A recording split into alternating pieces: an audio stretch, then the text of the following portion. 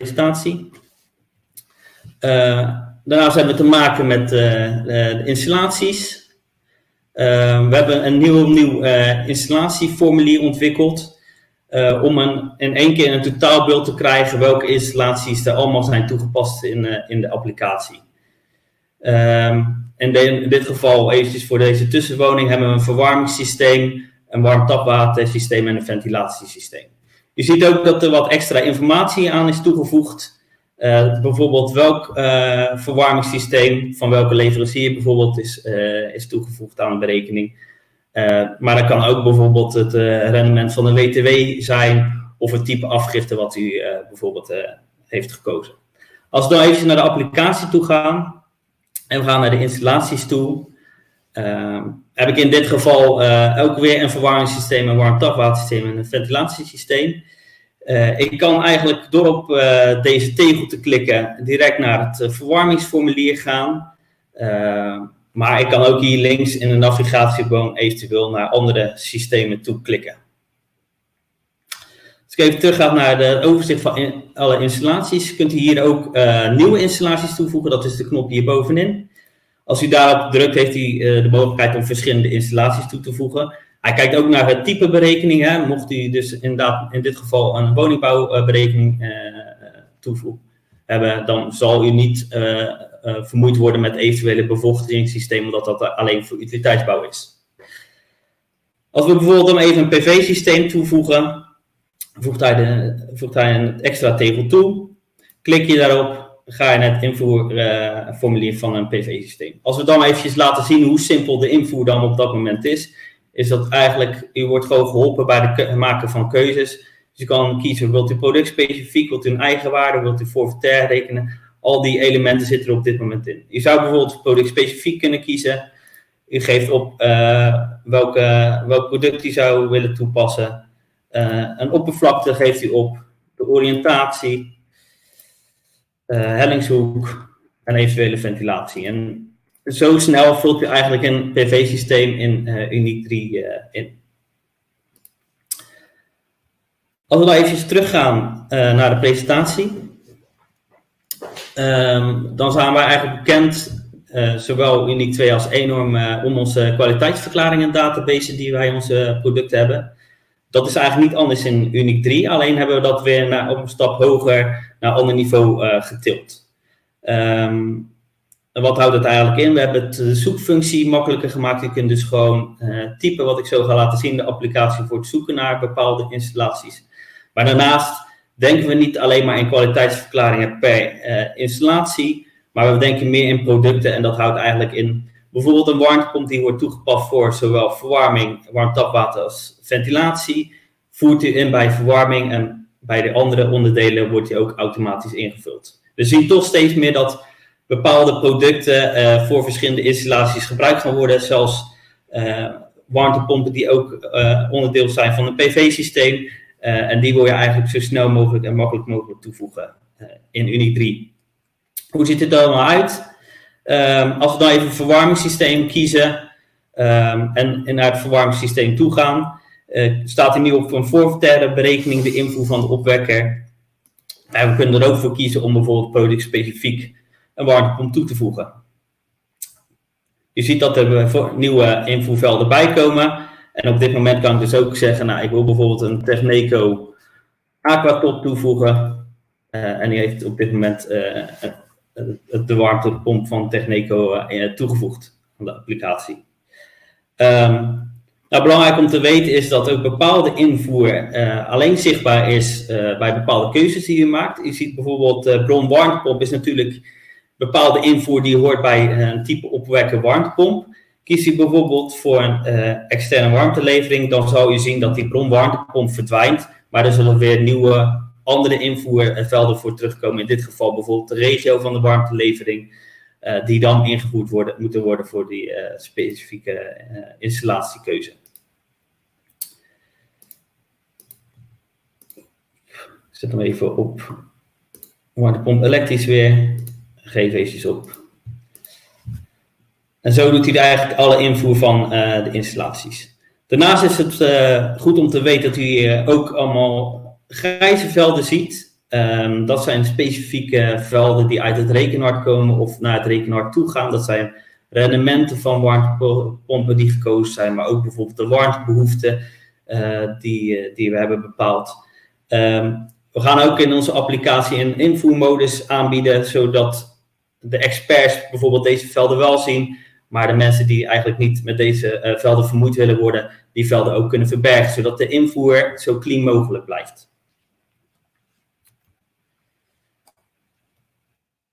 Daarnaast gaan we extra productinformatie toevoegen. Um, wat we nu vooral doen is eigenlijk op basis van kwaliteitsverklaring de producten uh, aanbieden in de applicatie, maar we willen dat verder doortrekken, zodat we eigenlijk ook meer informatie voor de uh, gebruiker gaan geven.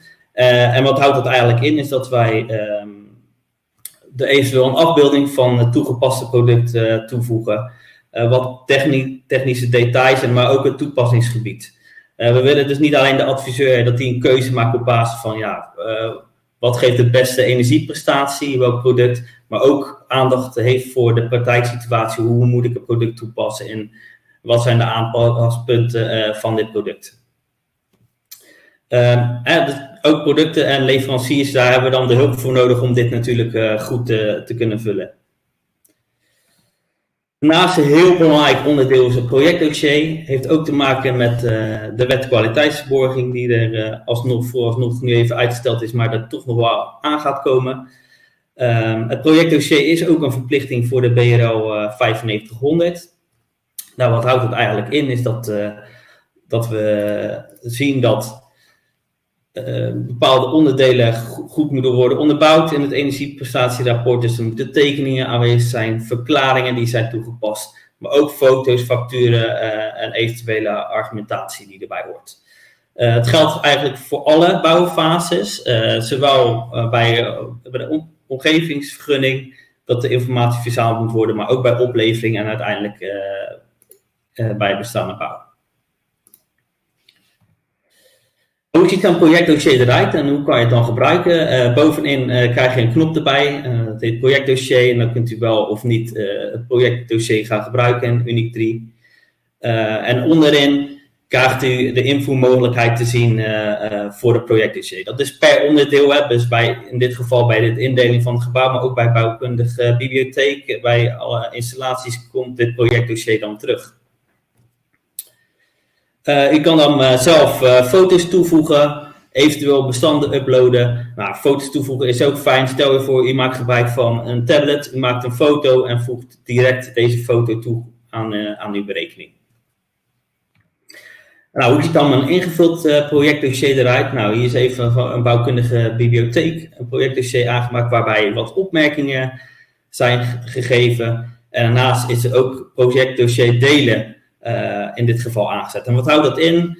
Stel je voor, u heeft een, uh, een groot bouwproject uh, met verschillende typen tussenwoningen, maar die maken bijvoorbeeld allemaal gebruik van hetzelfde geverisolatie en vloerisolatie. Dan kan hier bijvoorbeeld aangeven dat u voor alle berekeningen in dit project, deze projectmap, gebruik wil maken van het projectdossier. Dus u hoeft maar bij één woning dan een projectdossier aan te maken en dat kunt u dan eigenlijk een soort van doorkopiëren naar alle andere berekeningen.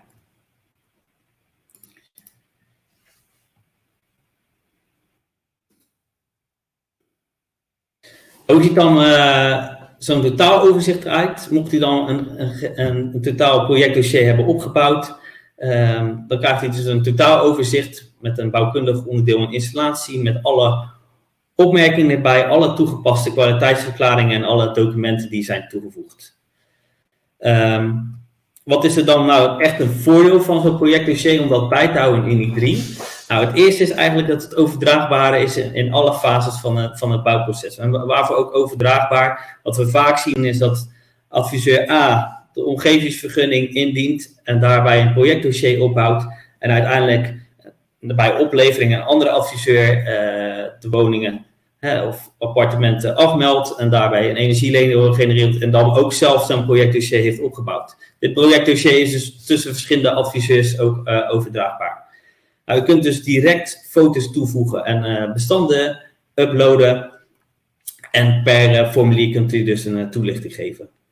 nou, je hebt een overzicht per berekening, maar eventueel kunt u het ook koppelen aan, aan andere berekeningen. Ehm, en wat mooi is aan dit verhaal is dat we eigenlijk ook de opname direct in Unique 3 kan gebeuren. Hè? Dus als je, als je het gewoon als tablet, tabletmodus gebruikt, kunt u direct de opname doen en foto's toevoegen.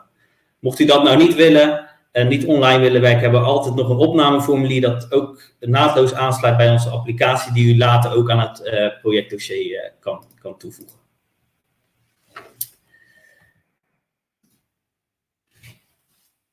Van appartementen. Um, en waarvoor appartementen? Dat is iets wat toch een grote wijziging is in de NTA 800. Um, bij uh, omgevingsvergunning zullen ook alle gebouwen, dus ook in dit geval de appartementen, moeten worden afgemeld.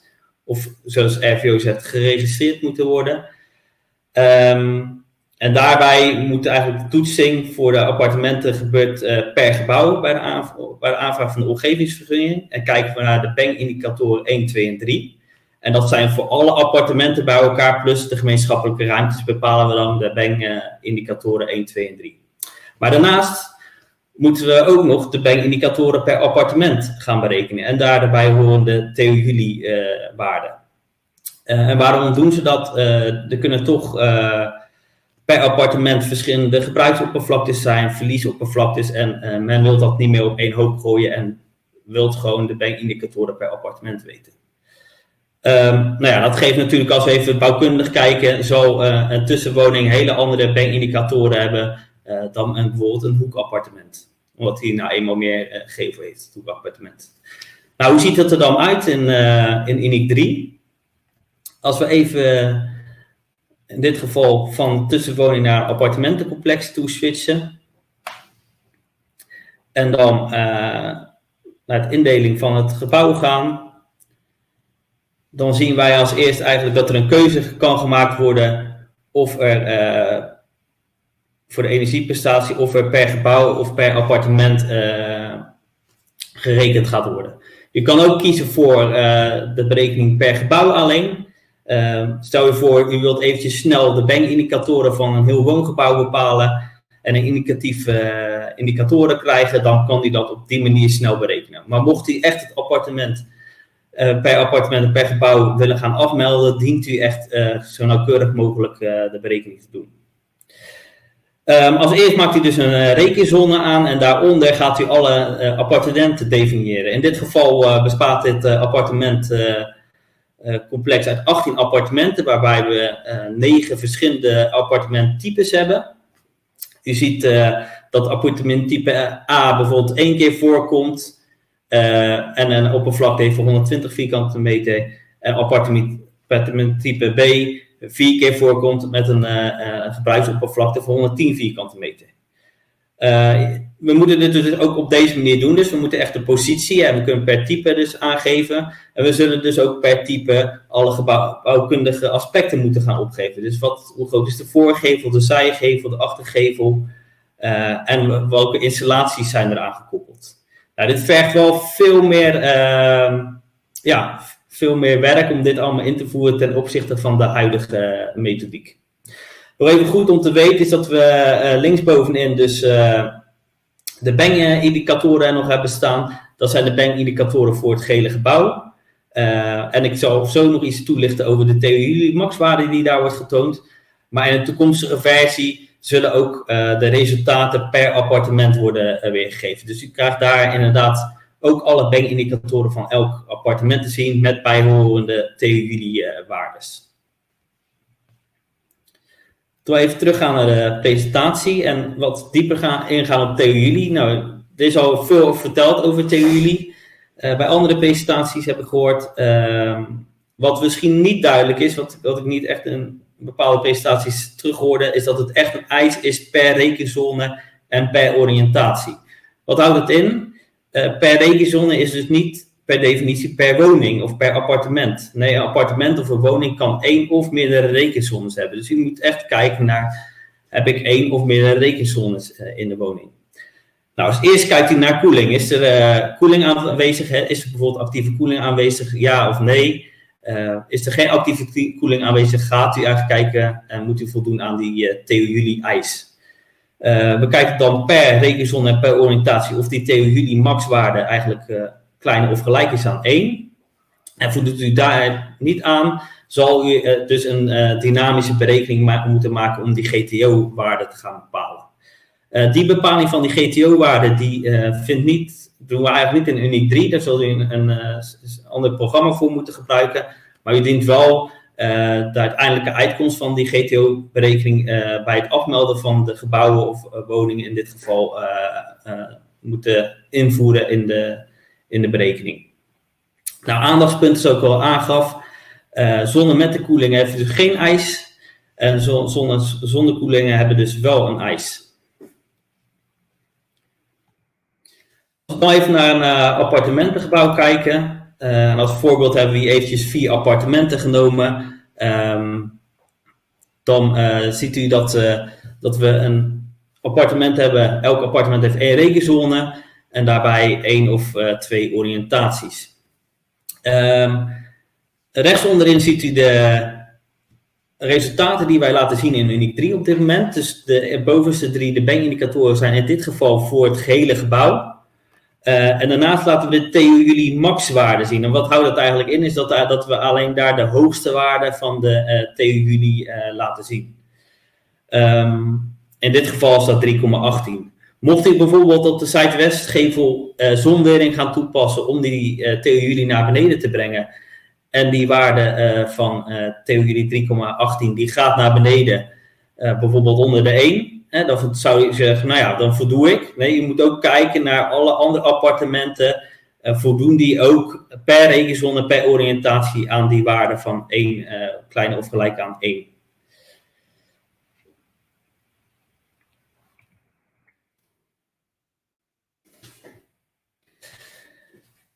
Nou, wat zijn dan echt de voordelen van Unique 3? Uh, waarvoor zou je Unique 3 uh, willen toepassen? Nou, eigenlijk is het de applicatie, zolang je internetverbinding heeft, is het de applicatie die je uh, altijd en overal eh, kan gebruiken. Um, nou, daarnaast is het een overzichtelijke applicatie, dus we hebben duidelijke invoer. En we valideren ook invoer, zodat u zo min mogelijk fouten maakt in de applicatie. En we geven eigenlijk inzichten in resultaten van de berekeningen, zowel tussen- als eindresultaten. Nou, actueel we hebben altijd up-to-date kwaliteitsverklaringen. We houden dagelijks de kwaliteitsverklaringen en producten bij. Uh, en we doen eigenlijk ook uh, nieuwe of uh, oude producten bijwerken indien nodig. Het is een complete applicatie, dus u kunt zowel woningen als utiliteitsbouw, nieuwe bestaande berekeningen ermee doen met de applicatie. Nou, efficiënt, directe opname op locatie, zoals ik al aangaf. U kunt gewoon met een tablet in een gebouw rondlopen. Uh, en daar uw opname doen en uh, uiteindelijk de resultaten uiteindelijk uitdraaien. Uh, nou, goed om te weten is dat ook het opnameprotocol is geïntegreerd in de applicatie. En eventueel hebben we ook nog een aansluitend opnameformulier die specifiek voor Unique 3 is geschreven. Nou, daarnaast betrouwbaar. Aankomende maanden zal de applicatie ook geattesteerd en gecertificeerd worden. en daarnaast hebben we een goede en snelle assistentie bij de helpdesk. En we hebben altijd goede en betrouwbare antwoorden en snelle reacties die we geven. Nou, hoe nu verder dan? Uh, volgende week dinsdag uh, zullen we een uh, beta-versie gaan releasen. Um, die beta-versie is eigenlijk voor iedereen beschikbaar. Kan gratis een proeflicentie aanvragen op onze website www.unique3.nl. Um, daar vindt u trouwens ook uh, onze cursussen terug. U kunt een cursus uh, volgen voor de software training of eventueel een uh, cursus om u voor te bereiden op examen. Um, en daarnaast vindt u nog wat andere informatie over het diplomeren en certificeren van bijvoorbeeld uw bedrijf. dat was eigenlijk mijn presentatie, dus ik wil eigenlijk vragen aan Edgar of, of hij het weer kan overnemen. En ik ben wel benieuwd of er wat vragen zijn binnengekomen. Ja, dat is, uh, dat is zeker uh, zo, Robin. Uh, dankjewel voor jouw heldere presentatie. Um, nou, ik moet eerlijk zeggen dat Marjolein al behoorlijk wat heeft kunnen afvangen qua vragen en antwoorden in, in de chat. Ehm, er staan nog een aantal open die zij ook heeft aangemerkt als goed om aan het eind nog eventjes langs te laten komen. Dus we hebben hier een vraag van Gert-Jan van Esveld. Hij ehm, vraagt zich af of de fabrikanten al genoeg informatie hebben aangeleverd om in januari een goed gevulde database te hebben. Daar kan ik wel antwoord op geven. Inderdaad, uh, eigenlijk zijn er op dit moment, zover ik weet, nog heel weinig uh, ja, kwaliteitsverklaringen of bijna of vrijwel geen kwaliteitsverklaringen beschikbaar, uh, die ook dadelijk kunnen worden toegepast in de NTA 8800. Ik weet wel dat er belangenorganisaties en verschillende fabrikanten wel druk bezig ermee zijn. BCG is, dat is ook de, het platform waar eigenlijk de kwaliteitsverklaringen op beschikbaar worden gesteld. Die is ook druk bezig met het ontwikkelen van dat platform, ook voor de voor nieuwe verklaring van de RTA 80 Alleen op dit moment zijn er inderdaad, zover ik weet, nog weinig uh, verklaringen beschikbaar in de markt. Akkoord. En uh, eigenlijk nog een vraag van Jan, Gert-Jan. Ehm, of jullie ook de RC-berekening als tool hebben ingebouwd. En dat volgens de nieuwe berekeningseisen. Nog niet. Ehm, er zijn een aantal verschillende manieren hoe je die RC-waarde kan toevoegen. Op dit moment uh, kan je gewoon in Unique 3 een uh, eigen waarde invullen, dus je kunt gewoon een RC-waarde opgeven. Uh, daarnaast zijn er nog wat manieren op basis van stroomschema's, hè, die vooral in de bestaande bouw worden gebruikt. op die manier kunt u dan de RC-waardes toevoegen. Die functionaliteit gaan wij ook toevoegen. Uh, het is ook wel eh, het idee om uiteindelijk ook um, een, een, bepaalde RC-calculator te gaan toevoegen, zodat u op basis van scheidingsconstructies of een opbouw van een, uh, van een muur of een vloer ook zelf de RC-waarde kan bepalen. En die, die is natuurlijk uh, aangesloten op de huidige normen die in de NTA 800 staat beschreven. Nou, dat zou mooi zijn. Uh, volgende vraag, eh, Robin. Uh, die is van Marijke Gantvoort. Zij, werkt, zij geeft aan dat ze vaak meewerkt aan de ontwerpcheck bij vroege, de vroege ontwerpcheck bij nieuwbouw, van villa's bijvoorbeeld. Ehm, wat, raad, wat raad je aan om te gebruiken in bijvoorbeeld zo'n schetsontwerpfase? Dus, moeten daar forfaitaire waarden worden gebruikt of productspecifieke waarden? Goeie vraag. Ehm, ja, het ligt er een beetje aan wat voor type uh, berekening het is. Kijk, het is, sowieso wel logisch om te bedenken over, na te denken over de indeling van het gebouw, hè, hoe dat eruit gaat zien. Uh, maar ook de schematisering van het gebouw, wat heel belangrijk is. Maar wel ook over de installatieconcepten.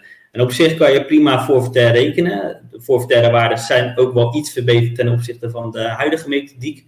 Maar we raden wel aan om zo snel mogelijk te bedenken van wat is het installatieconcept en wat voor fabrikanten willen we daarvoor toepassen. Omdat we wel gewoon zien dat je eh, daardoor ook veel scherper kan rekenen. Uh, en je wilt ook niet je gebouw overdimensioneren, laten we zeggen dat je te veel PV op het dak moet zetten, uh, terwijl het eigenlijk niet nodig is. dus het is wel, kan op zich prima voor rekenen, maar zo snel mogelijk toch wel proberen gedetailleerd te gaan rekenen. Akkoord.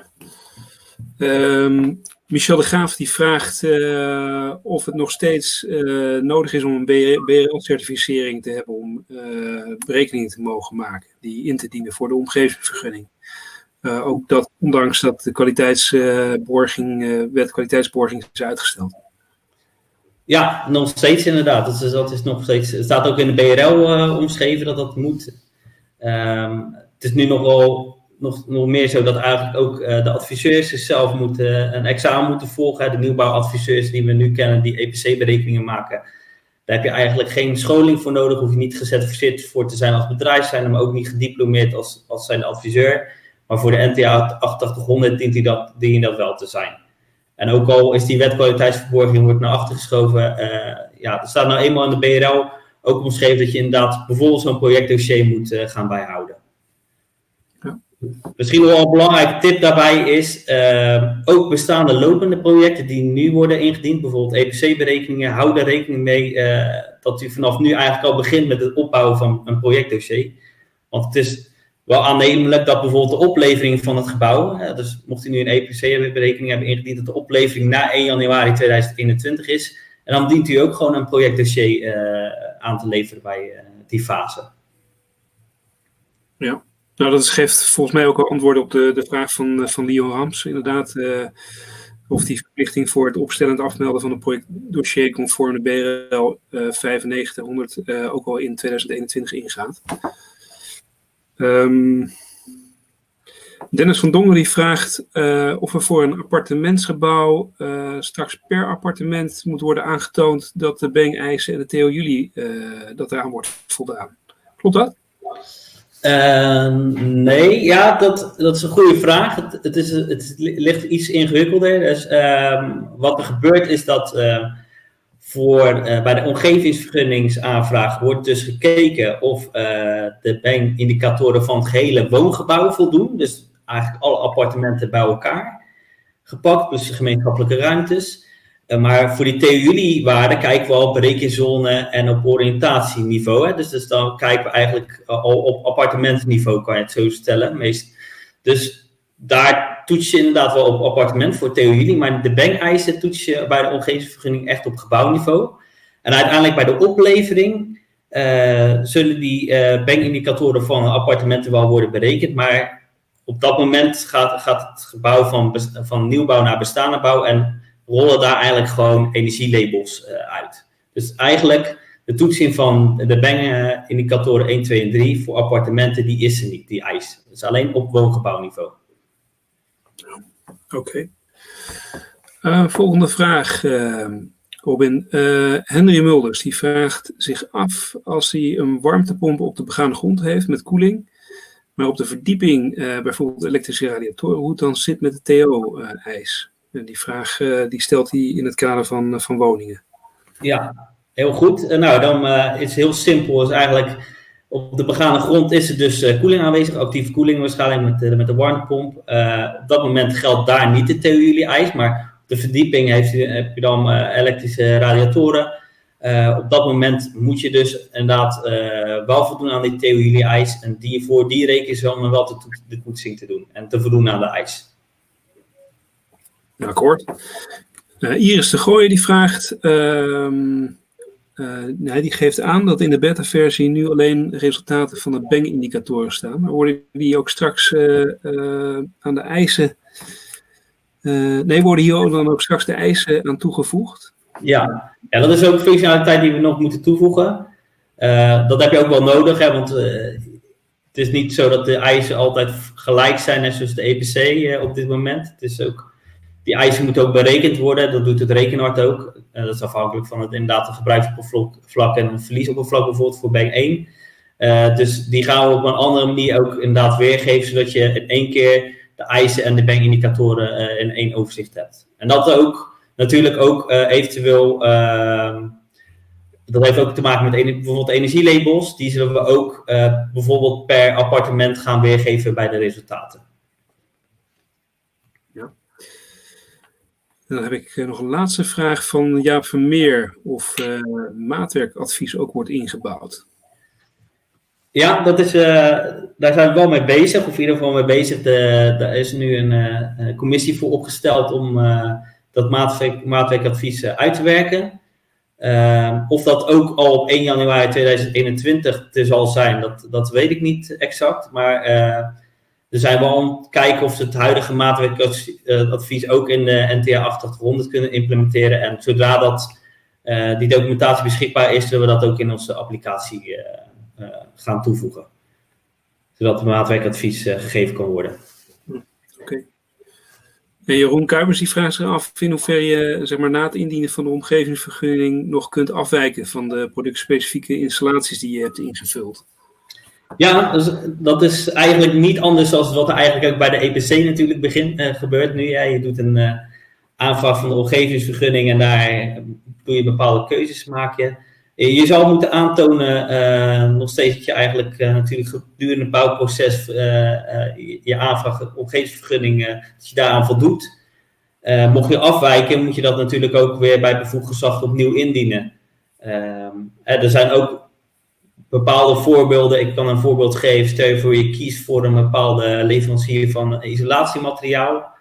Uh, maar tijdens de bouw vergeet je het goed het projectdossier op te bouwen. Zou je ook aan het eind eventueel moeten terugvallen op een forfaitaire methode omdat je niet goed uh, de documentatie hebt bijgehouden. Er kan ook bijvoorbeeld een keuze zijn van een leverancier X en dan uiteindelijk bij oplevering is voor een leverancier Y gekozen, dien je ook uh, de berekening daarop aan te passen. En eventueel aan te tonen dat je nog steeds aan die uh, eisen voldoet.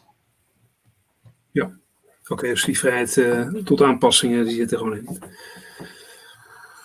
Um, nou ja, volgens mij uh, zie ik nog geen vraag meer. Zijn er nog mensen die uh, ja, een, een, dringende vraag hebben? nu is de gelegenheid, dus um, kijken of er nog even wat binnenkomt.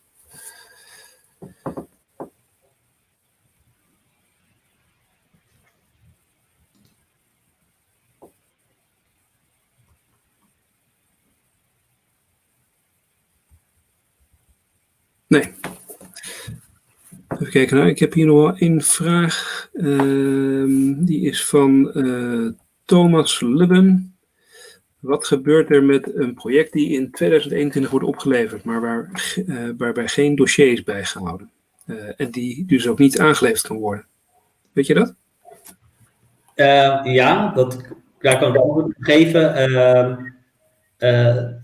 Nou, het voorbeeld wat ik net eigenlijk aangaf, uh, bijvoorbeeld voor zo'n RC-waardebepaling, als bijvoorbeeld geen foto's zijn gemaakt wat voor hoe dik de isolatie was, wat, wat geen facturen zijn van eventuele isolatiematerialen die zijn toegepast, zou je dus soort van moeten terugvallen op een voorverterre methode. Dan zou je op basis van stroomschema's op bouwjaar moeten bepalen wat de RC-waarde op dat moment is. Het is dan niet dat je een hele slechte RC-waarde krijgt, maar dan zou je waarschijnlijk terugvallen bijvoorbeeld als het gaat om nieuwbouw op de nieuwbouwwaardes die gelden uh, of golden tijdens het, het uh, bouwjaar van, uh, van dat gebouw. En waarschijnlijk zijn altijd die RC-waardes in dat geval slechter dan die uiteindelijk waarschijnlijk zijn toegepast in, in de praktijk. Ja, Oké. Okay. je gaf aan dat volgende week die, die beta-release te verwachten is. Ehm, wat kan je zeggen over de definitieve versie? Dat vraagt Johan Smit zich af. Ja, de definitieve versie, ja. Um, nou ja, goed. Uh, het is nog steeds voornemens om zo snel mogelijk de software te attesteren. Nou, waar, wat we wel hebben gedaan is bij de beta-versies dat we echt hebben uh, onszelf hebben gericht op uh, goed rekenende software op de markt te brengen. Daarvoor komen wij ook iets later dan andere softwareleveranciers. Um, over de definitieve versie, ja, die moeten eigenlijk echt natuurlijk pas zijn, natuurlijk eind dit jaar. Maar we, voor ons is iets anders definitief dan uh, definitief is. Uh, we zullen denk ik uh, proberen voor jullie wel echt een, alle rekenresultaten zo ver mogelijk gelijk te hebben met de andere softwareleveranciers. en daarna zullen we verder gaan bouwen aan nieuwe functionaliteiten. en waarbij ook bijvoorbeeld het registreren wordt toegevoegd, eventuele rapportages die geprint kunnen worden vanuit de applicaties, delen van Ehm, projecten met andere adviseurs. Dat zijn eigenlijk uh, functionaliteiten die we aankomend half jaar uh, gaan toevoegen. Maar we zullen tussentijds uh, steeds weer nieuwe versies gaan op, op, opleveren. Maar de, laat zeggen, de eerste echte versie, laten we zeggen, naast deze beta-versie, zal voor januari er zeker zijn. Zo snel mogelijk. Akkoord. Ik heb nog een vraag van Nicolaas van Everdingen. Die uh, vroeg zich af hoe het zit met de luchtdichtheid in het programma. En, uh, gewoon de luchtdichtheid, hoe je dat invoert uh, in de applicatie zelf? Is dat ja. de vraag? Oké. Okay. nou ja, we hebben eigenlijk gekozen om, ja, we noemen het tegenwoordig niet meer infiltratie in onze applicatie. Het heet lucht doorlaten. Uh, daarbij uh, kan je inderdaad de infiltratie opgeven, maar hebben we ook nog te maken met uh, verticale leidingen.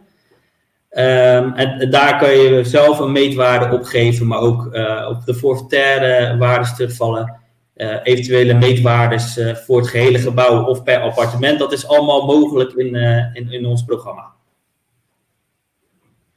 Oké.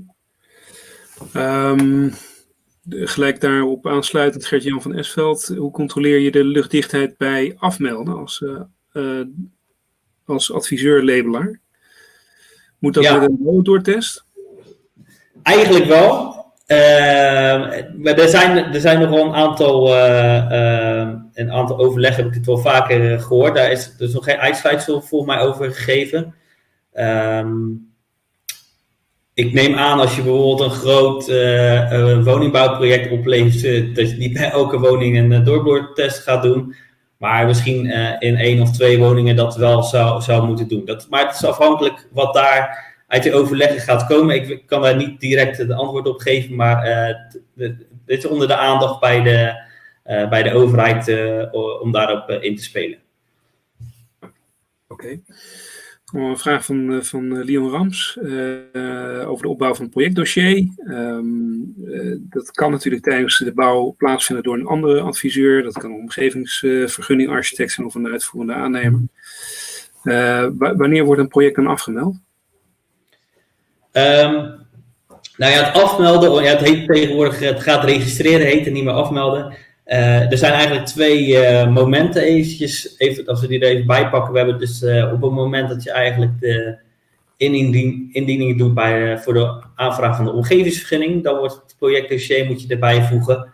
Um, hè, dus, dus stel je voor dat je een bouwvergunning doet, dan doe je dat op dat moment. En uiteindelijk bij de oplevering van het gebouw. En wat we bedoelen bij oplevering, dan wil je eigenlijk ook de energielabels gaan genereren van de, van de gebouwen. En dan op dat moment dient er ook een, een volledig projectdossier te zijn. Uh, en waarom moet je dat ook hebben als adviseur? uiteindelijk moet je gecertificeerd en diplomeerd zijn. Je bedrijf en als adviseur gediplomeerd. en er komen ook gewoon controles. Elk jaar wordt er gecontroleerd of je projectdossiers op orde zijn en of je goede berekeningen hebt gemaakt. En of die kloppen volgens het projectdossier. Akkoord, akkoord. Ik kijk even naar de tijd. Ik zie dat uh, we al uh, een minuutje en 40 seconden over de eindtijd heen zijn. Dat betekent ook dat we eigenlijk nu gelegenheid hebben om naar de bol te gaan. Um, ja, ik, ik, zou eigenlijk willen zeggen, Robin, hartelijk bedankt voor, jou, voor jouw heldere presentatie. Marjolein op de achtergrond voor het beantwoorden van alle vragen. Um, ook van deze sessie wordt weer verslag gemaakt en uh, die is terug te vinden op, uh, op de website van, uh, van het Lenteakkoord. ik wil iedereen hartelijk bedanken voor de aandacht en nogmaals bedankt Robin en ja. Jij ook bedankt, Edgar. Goed, dan gaan we eruit. Tot ziens. Tot ziens.